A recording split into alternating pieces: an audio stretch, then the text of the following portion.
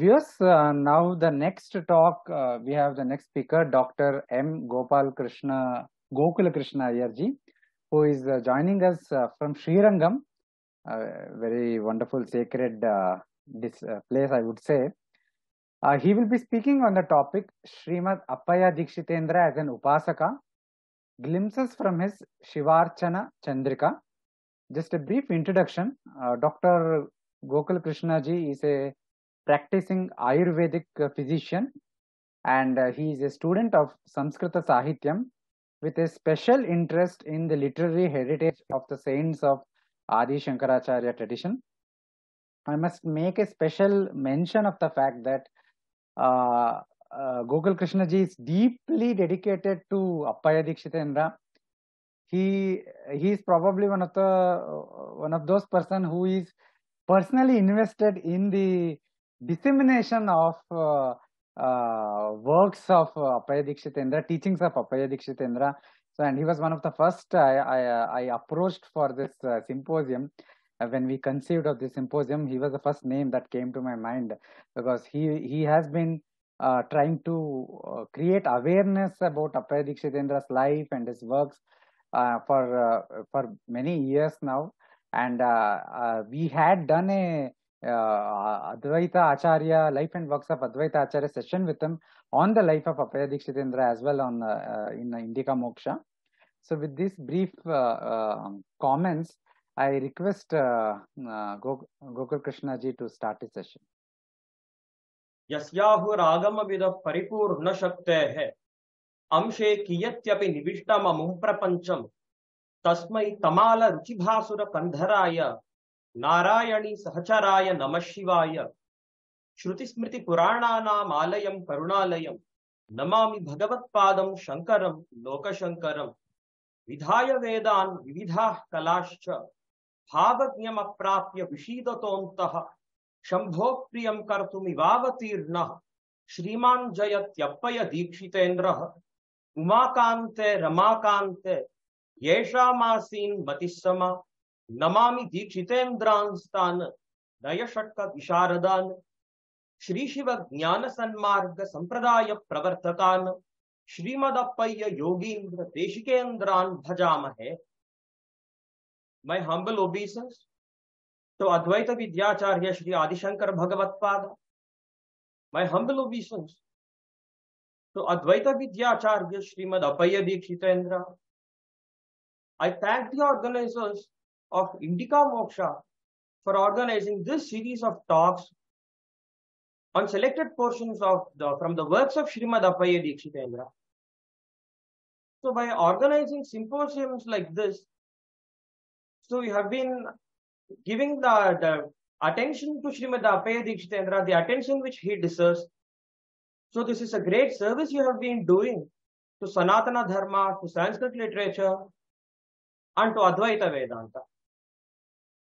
So the topic I have chosen for uh, today's topic is an appreciation of Srimad Appaya Dikshitendra as an Upasaka. And here I will be giving some glimpses from uh, the work of Srimad Appaya Dikshitendra known as Shivarchana Chandrika. So because this uh, work known as Shivarchana Chandrika, although it is a Laghukaya Grantha, the topics uh, that have been discussed here are extremely deep and it is only possible to give a bird's eye view of the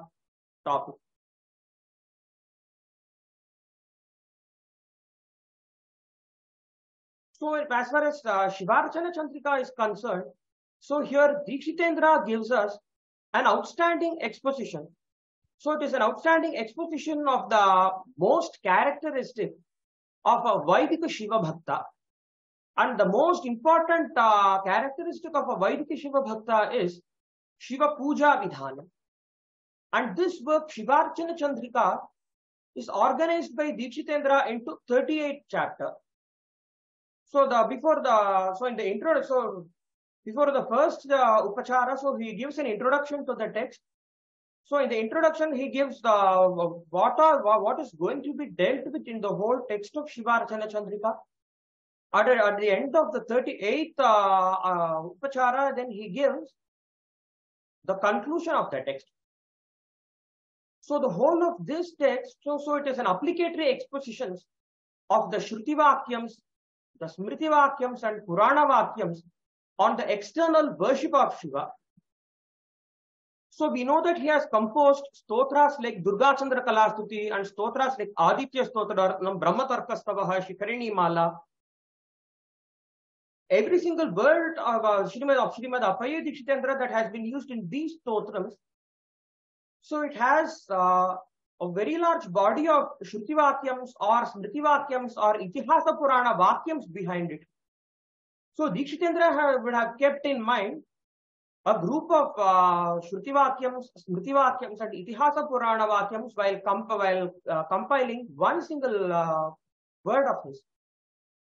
And in his, his own Sanskrit commentary on it, he would have given a very detailed uh, elaboration of it by quoting uh, enormously from the various uh, Shastric literatures. So, when a careful study of this uh, Shivarchana Chandrika will also reveal that Dikshitendra gives us the essence of the Shrutis, Smritis, and Puranas. So, in this way, so the famous shloka on Adishankara Bhagavatpada, Shruti Smriti Purananam Alayam Karunalayam, Namami Bhagavatpadam Shankaram Loka Shankaram, so we can paraphrase this uh, Mangalacharna shloka on uh, Adi Shankaracharya with reference to Dikshitendra. Shruti Smriti Purananam Alayam Karunalayam Namami Dikshitendram Tam Appayam Loka Shankaram. So that is the greatness of Srimad Appaya Dikshitendra.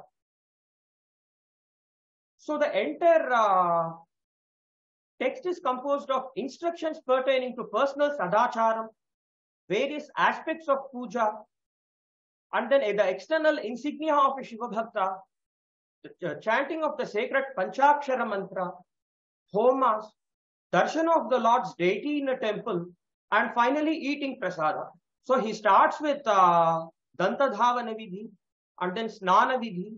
The third one is uh, Sankshepa Shaiva Sandhya Vidhanam. Apart from the Vaidika Sandhya, he, he gives a short uh, introduction to Shaiva Sandhya Vidhanam and then Bhasmadharana Vidhanam, Rudraksha Vidhanam. So in this way it goes on. So a careful study of the entire work reveals that it is a legacy of a lifetime that had been devoted to a patient and meticulous Shiva Puja and a production of an exalted personality in whom we could find a very great mixture of an erudite scholarship and immense piety. So it's a mixture of these two things we can see in uh, the work Shivarchana Chandrika. And as a scholar who was endowed with an extraordinary knowledge in all the scriptures, so he was a Sarvatantra Swatantra, he has given us Vaidika mantras, Smrityukta Shloka mantras, and Puranokta Shloka mantras to be chanted at appropriate times in different sections of Shivarchana Chandrika. So in all his works, all the 104 works of the, uh, his, Dikshitendra stands out in all the charm of his rich and varied personality. From the different facets of his personality, 104 works in Sanskrit of multiple genres have emerged. As a Mimamsaka Murdhanya, as an erudite scholar in four great schools of Vedanta, as an erudite uh, scholar in Alankara Shastra, as a Vyakarana Sarvabhauma, as an erudite scholar of the entire range of Itihasa Puranas, as a devotee who was well aware of the local Sthala Puranams of different temples, and as an exemplary devotee who had surrendered himself completely to his chosen deity, Dikshitendra has produced many works that are uh, literary gold. Each one of his work is a literary gold. So we can say that each one of his work is a magnum of his you know, individually. So when we take a look at his uh, Advaita Vedanta Granthas like Parikalpataru Parimala Vyakhyanam, Nyaya Rakshamani, Shastra Siddhanta Lesha Sangraha, Upakrama Parakramaha, Nayamanjari. So we can say that each one of it is a magnum opus. In the same way, his works in Shivadvaita Vedanta like Shivarkamani Deepika, Shivadvaita Nirnayaha, and then uh, his uh, Vishishtadvaitic works like uh, Nayamayukha Malika and commentary on Yadava Bheda Mahakavyam of Swami Vedanta Deshikar. So we can say that each one is a magnum opus. So that was the eminence of Dikshitendra. So in his Shiva, this Shivarchana Chandrika stems from that facet of Srimad Apaya Dikshitendra as a rigorous upasaka. So apart from being a scholar, Dikshitendra was extremely committed to upasana. So his being a multifaceted personality was not just limited to the different schools of Vedanta. So there alone it doesn't exist. So his being a multifaceted personality extends to the Mantra Shastra as well. So apart from being a rigorous Shaiva Upasaka, Dikshitendra also had initiation into Vaishnava mantras and Shakta mantras as well. So he has written a work known as Krishna Dhyana Padhati and his own uh, auto commentary on Krishna Dhyana Padhati. And th- in this work, he throws light on the esoteric meanings of many secret mantras on Lord Krishna. And then he also uh, explains the results of chanting them and the methods of meditation. Apart from this, he had also written a work known as Sri Vidya Tattva Vivaranam. Here he gives a detailed description of the true nature of Sri Vidya worship. So the, these three works, Krishna Dhyana Padhati and uh, Dikshitendra's own auto commentary is not available today. And it is believed that these two works are preserved in some libraries, uh, preserved in Oxford University. And uh, his work, Sri Vidya Tattva Vivaranam, so until the 1930s, we know that it was there in uh, a university in Lahore. And after that, we do not know the fate of this manuscript. We do not know if it was a hitherto unpublished manuscript or a published work. So we do not have information about it. So in the Dikshitendra Vijayam written by K.V. Subramanya Shastrigal, so he has uh, he has also given a list of 104 works uh, written by Dikshitendra. So there in the so in this list of 104 works, he gives uh, he lists uh, Shiva Krishna Dhyana Padhati and his own auto commentary on it. So he also gives the uh, he also mentions the name of Sri Vidya Tattva Vivaranam. And unfortunately, these works are not available today. So, so that was the eminence of Dikshitendra. So Pradhanataya, his upasanam was on Lord Shiva. Gaunataya, his upasanam was on Krishna and Devi. So he also, he was a very great devotee of uh, Lord Vishnu. So he has written wonderful stotram uh, on Varadaraja uh, Perumal of Kanchipuri. He has also written a stotram on Devi, Durga the famous Durga Chandra Kalastuti. So before we go into uh, Shivarchana Chandrika, so I'd like to give a description of uh, an Uttama Shiva Bhakta. So in Shiva Mahapuranam, so Shiva Mahapuranam is one of the 18 Mahapuranams and it was uh, Sri Vyasacharya who has blessed us with this Puranam as well, just like how Vyasacharya has blessed us with Srimad Bhagavatam, which is a wonderful Puranam. He has also blessed us with Shiva Mahapuranam. So Shiva Mahapuranam has seven uh, samhitas. So the first one is Vidyeshvara Samhita, the second one is Rudra Samhita, third one is Shatarudra Samhita, fourth one is Koti Rudra Samhita, fifth one is Uma Samhita, sixth one is Kailasa Samhita, and the seventh and last one is Vayaviya Samhita. So in these seven, uh, among uh, seven Samhitas, the first one is Vidyeshvara Samhita. So there in Vidyeshvara Samhita, so in the, the 17th chapter, so it is about the greatness of uh, Pranava Mantra and Panchakshara Mantra. So towards the end of this chapter, so the lakshanas of uh, the topmost Shiva Bhakta have been described. So this is how the shloka goes on. Kriyayukta dashabhyascha tapoyukto vishishyate Uh, tapoyukta Dr. Gokul ji, shatebhyascha vishishyate जपयुक्त सहे सहस्रेभ्य शिव ज्ञानी विशिष्य शिव ज्ञानीषु लक्ष्यु ध्यान युक्त विशिष्य ध्यान युक्तेषु कोटिभ्य समाधिस्थो विशिष्य so kriyayukta devotee who is who has the quality of kriya sorry to interrupt can you make it full screen yes you are able to see it yes yes yeah Go ahead. Yeah. So,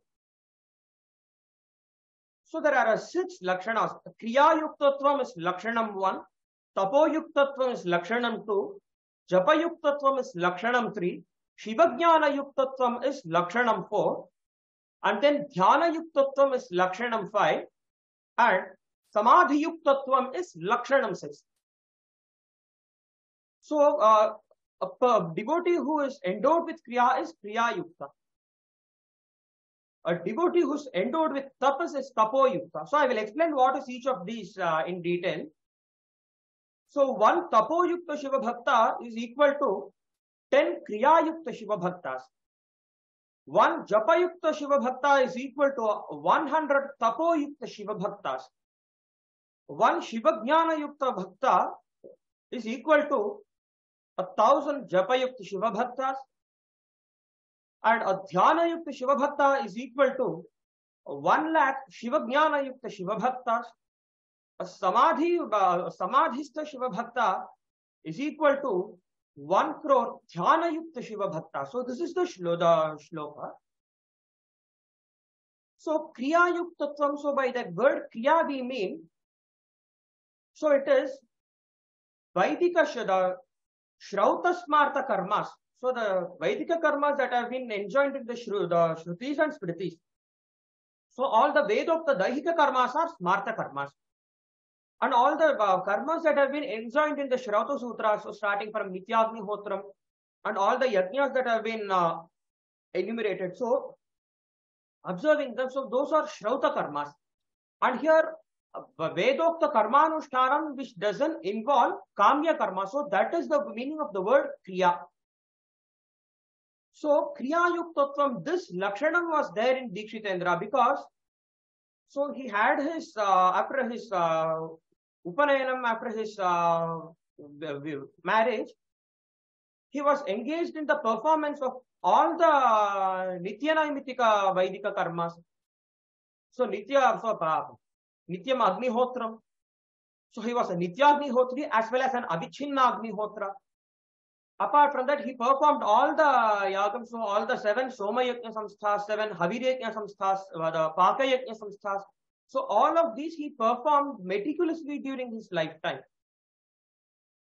So this is Kriya Yuktatvam of uh, this Lakshanam of Srimad Appaya Dikshitendra is Kriya Yuktatvam. And then Tapo Yuktatvam. So the word tapas here refers to Adhyayanam, Vedadhyayanam. So Dikshitendra had his Vedadhyayanam from his own father, Nityagni Vishwajidyaji, Advaita Vidyacharya Shri Rangaraja Dikshita. After his Upanayana, his own father taught him Samaveda along with the six Vedangas. And he also studied the Shrauta Sutram from his own fathers. All the Shrauta, uh, prayo, Shrauta Karma Prayogas he studied from his own father. He studied Purva Mimamsa from his father. He studied Vedanta Shastram, Vyakarana Shastram from his father. Before his Upanayanam, he studied uh, Sanskrita Sahityam from Guru Rama Kavi of Mullandram uh, village. So that is a separate thing. And after his Upanayanam, he had all the Adhyanam from his own father. So there is a famous, so there is a shloka in uh, Brahmanda Puranam which says, so a, a person who gives Brahmopadesham is known as Acharya. And a person who teaches, so it could be one single person or multiple uh, personalities who may teach the Vedas, who may teach the Shastras. So they may be considered as Deshikas. So for Srimad Appaya Dikshitendra, both his uh, Acharya as well as his Deshika was his own father, Sri Rangaraja Dhwari. And when one and the same person is both the Acharya and Deshika of a person, so he is known as Mahaguru for him. So Dikshitendra's Mahaguru was his own father, Sri Rangaraja Dhwari. So in that way, Tapo Yuktatvam, this Lakshanam we can see in Dikshitendra. And apart from this, uh, every single day he used to have Vedadhyanam. So we, we know we know the famous uh, instruction of Bhagavad Pada, Vedo Nityam Adhiyatam Taduditam Karma Svanushthiyatam. So Dikshitendra did this all throughout his lifetime. He had been teaching Samaveda to his sons, nephews, grandsons, grandnephews, disciples. So that is how the whole of his life was spent. So every day he used to have Vedadhyayanam. Every day he used to have all the Vedika karma anushtanam, Sandhyavandanam, Aupasanam, Prataragnihotaram, Sayamagnihotaram, and then uh, Vaishvadevam, Madhyanihitam, Brahmayagnyam. So he used to have all, apart from all of these Vedika karmas, every day he used to have it, uh, Adhyapanam of Samavedam along with Stradangas, uh, the six Angas. So that was a part of his Nitya uh, daily routine. So six months of Vedadhyapanam, six months of Vedanga Dhyapanam. So that is how it used to be in olden days. Apart from uh, Tapoyuktatvam, the next Lakshanam is Japayuktatvam. So Japayuktatvam here is Gudhatvena Guruna Upadishtam Shiva Panchakshara Mantra Japam is Japam.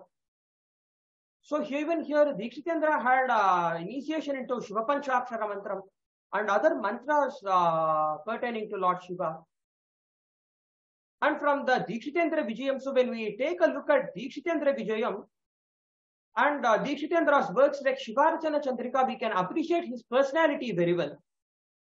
So, uh, hagiographers like uh, Shivananda Yogindra, so he says that every day Dikshitendra would uh, observe, he used to practice Ashtanga Yogam every day. So, yoga, Ashtanga Yoga Anushtanam was everyday practice for him.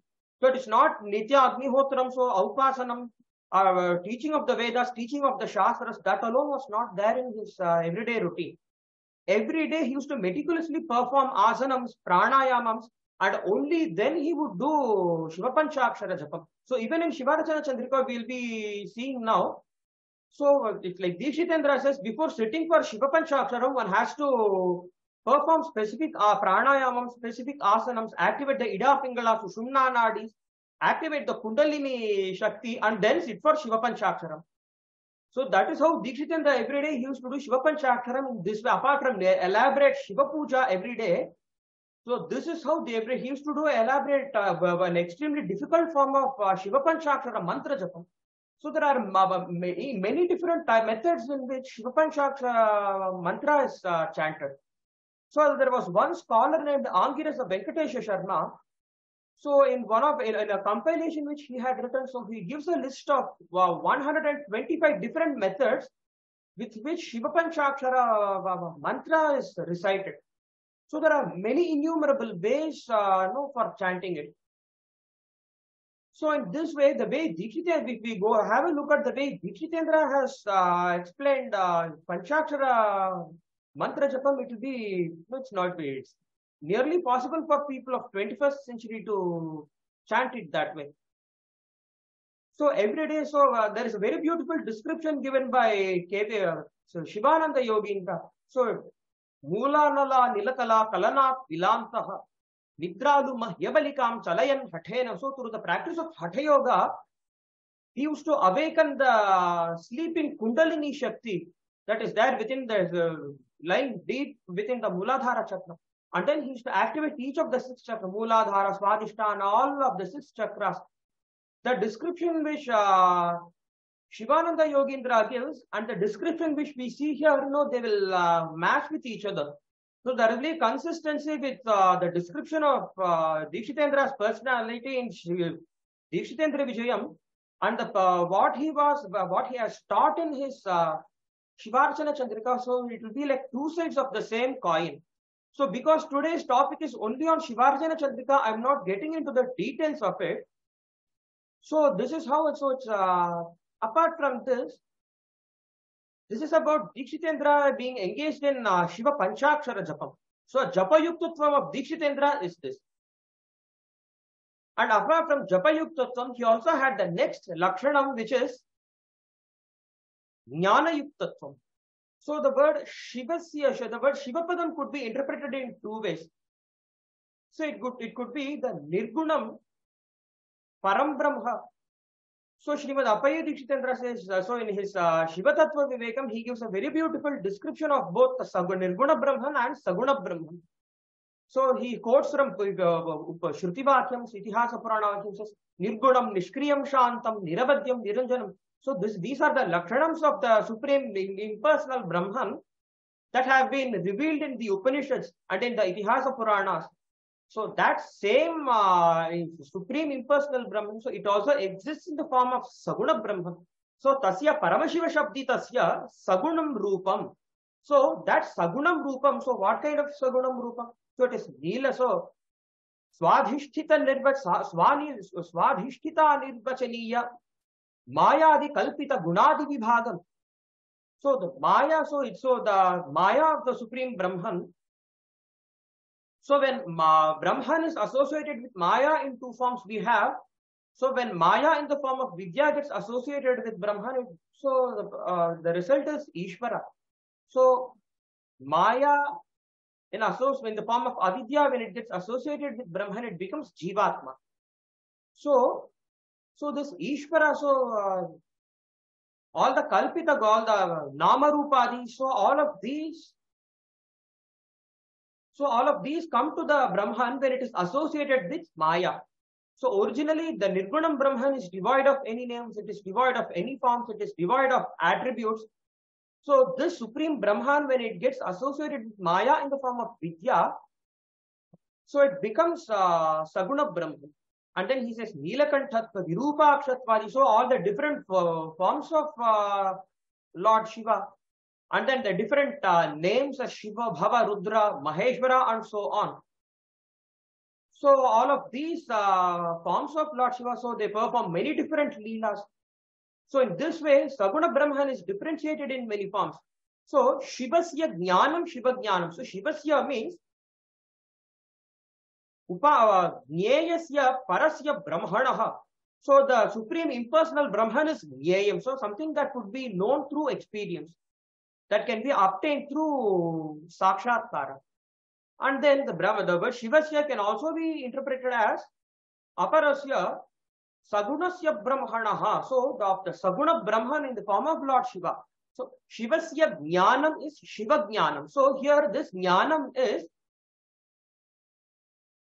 Shruti Yukti Janyam Shiva Jnanam. So it is something that is a result of uh, studying the Shrutis and Smritis.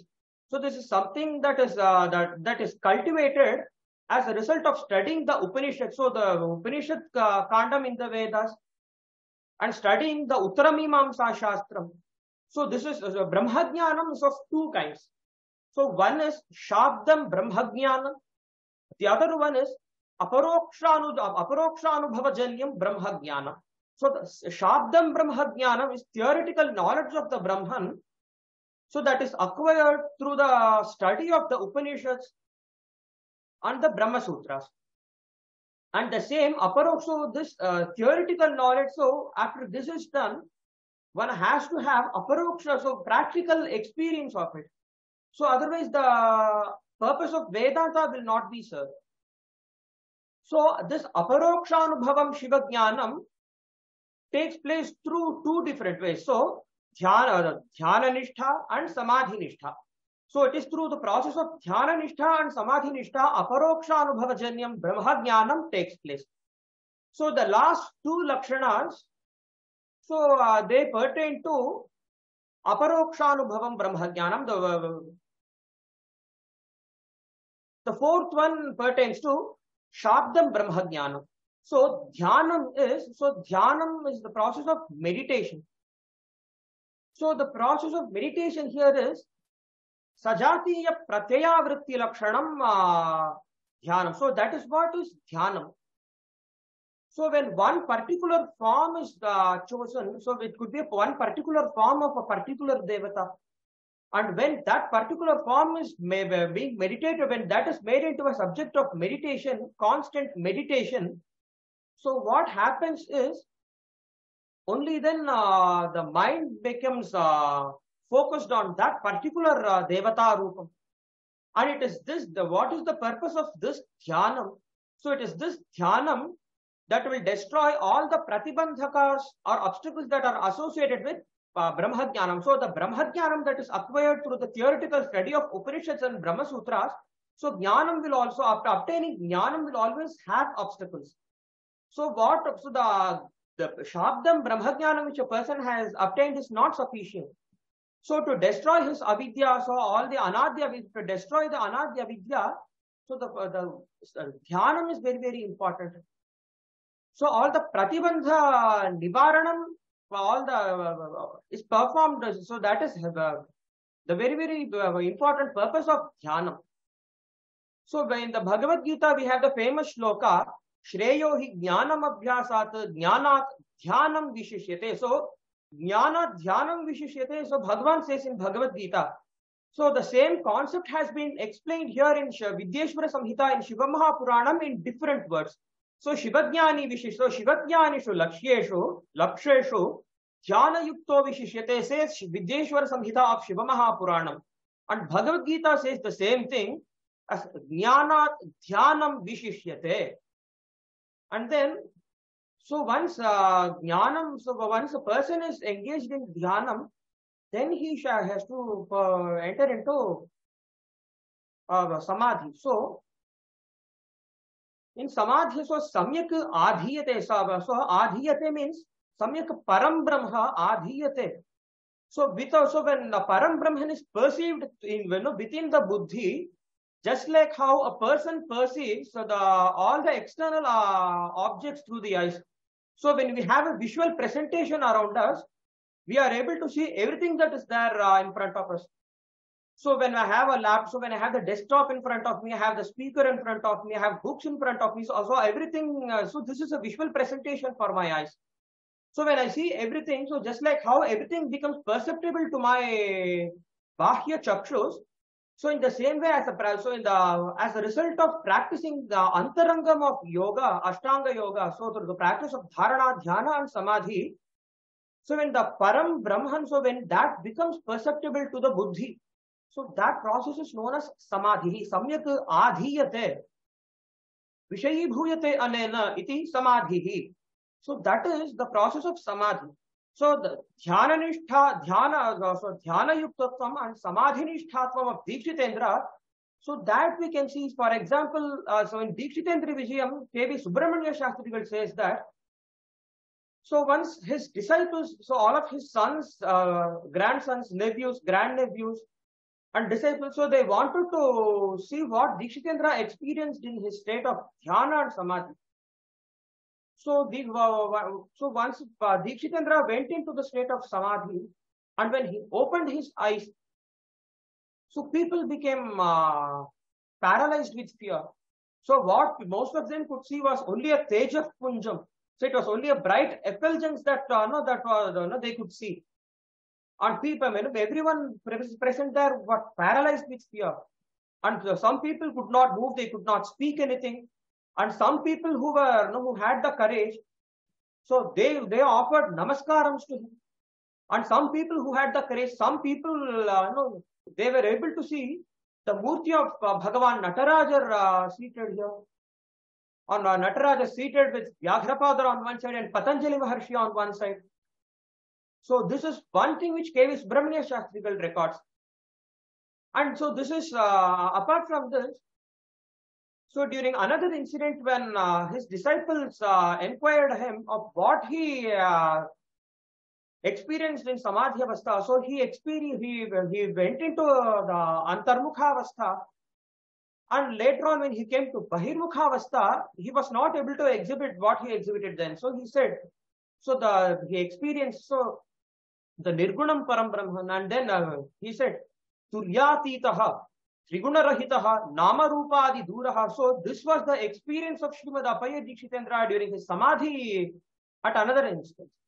So this is purely an uh, of the, the supreme impersonal Brahman. Turyatitaha and Trigunarahita Rahitaha, Nama Rupadi Duraha. So although Dikshitendra said, although I may I was able to meditate upon the supreme impersonal Brahman. So what I like the most is to see the Murti of Swami Nataraja. So during his last years, he was there in Chidambaram. So the last 10 to 12 years he spent in Chidambaram. And it was from Chidambaram he wrote uh, his magna opera like Kalpataru Parimalam and Nyaya Rakshamani. So at the last uh, few moments of Dikshitendra, so when he was taken to the Sannidhi of Swami Natarajan, he ch chanted one and a half shloka, Chidambaram idampuram sutasya vinayojvala sukritayasya kashit kritaha. So saying this one and a half shloka, So he merged into the deity of Nataraja. So a bright effulgence emerged from the Murti of Nataraja and he emerged into it. So just like how Andal had Sahaja Prapti with Swami Ranganatha. So just like how uh, Nayanmar uh, Nandanar had Sahaja Prapti into the deity of uh, Swami Nataraja in Chidambaram. So in the same way, Srimad Appaya Dikshitendra had Sahaja Prapti with the deity of Swami Nataraja in Chidambaram. So this is the Samadhi Nishtha of Srimad Appaya Dikshitendra. So this is uh, this is this was the so this is an appreciation of Dikshitendra as a Shiva Bhakta. So in his Shivarchana Chandrika, so Dikshitendra gives many different. Uh, so there are 38 chapters uh, Dikshitendra has uh, discussed upon. So as I told you, so Dantadhavana Vidhi, Snana Vidhi, Shai, Sankshepa, Shaiva Sandhya Vidhanam, and then uh, his uh, Bhasmadharana Vidhi, Rudraksha Dharana Vidhi. So if we take a careful look at it, so you know, so it is not something that can be easily possible for people in the 21st century. So in Bhagavatam, the 12th canto of Bhagavatam, while discussing the Kali Yuga Lakshana, Lakshana says, Tatashchanudinam Rajan. So uh, the, every day, so Dharma, Satyam, Shaucham, Kshamadya, so everything will start undergoing decline. So this is something we have uh, heard in Srimad Bhagavatam. So when we take a look at uh, the great Mahatmas who lived in different centuries, so the people, the followers of Sanatana Dharma in different centuries, so we can see a gradual decline of uh, various Dharmanushtanam from the time of Srimad Appaya Dikshitendra unto our times. So, uh, the Shivarchana Chandrika, this presentation is more of a theoretical uh, presentation. So, a practical, so even to put it, even to put 5 to 10 percent of what Dikshitendra says into practice, so it is something that is very difficult.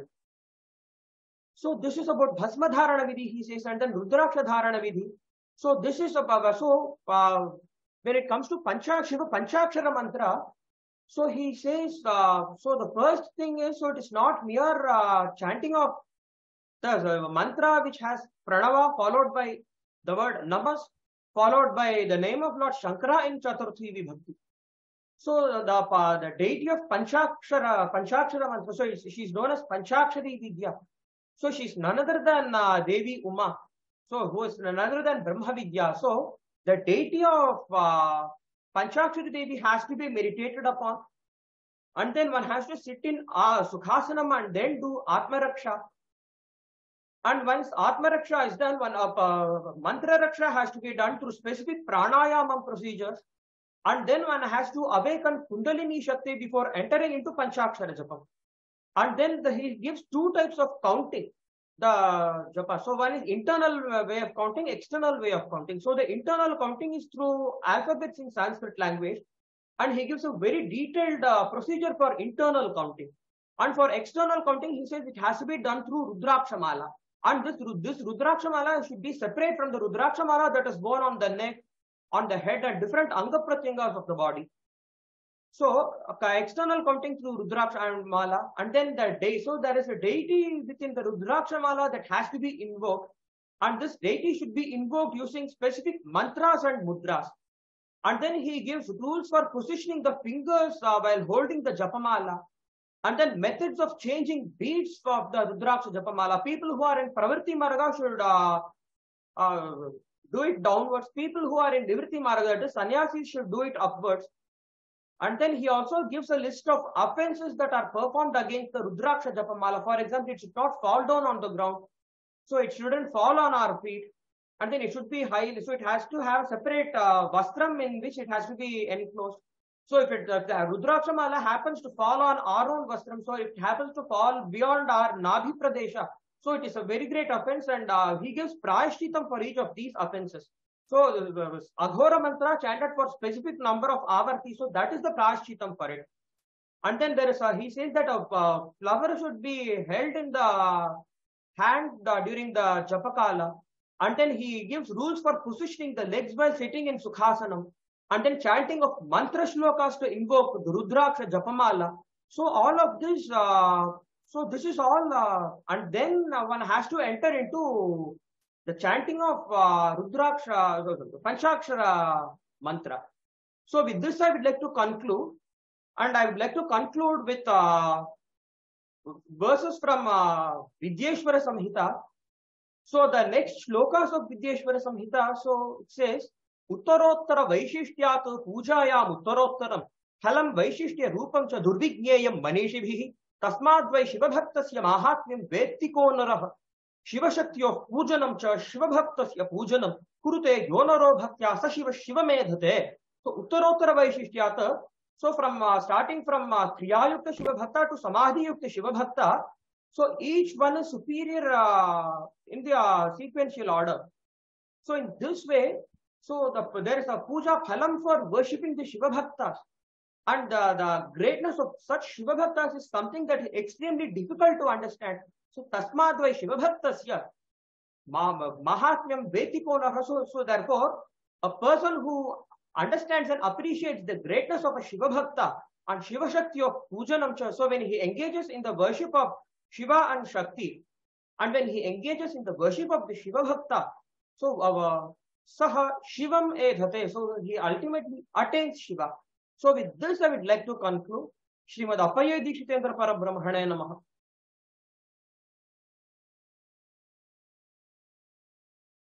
Thank you very much, uh, Dr. Gokul Krishna ji, uh, for uh, for highlighting the Shiva Bhakti aspect, but in a more personal sense, in the sense of uh, in the ritualistic sense, in a sadhana perspective. Uh, I think even uh, this is this is this is one dimension. I think most may not be aware of. I mean, people would have heard of Appaya Dikshita as a great Advaita Vidwan, as a great uh, Shivadvaita Vidwan, as a great uh, scholar of many writings, but uh, seeing this, uh, the, the details about how to do this Panchakshare mantra japa and all the prashchita details, it's simply amazing, wonderful. thank you for doing this session, Dr. Gokul. Thank you very much. Thank you, Father.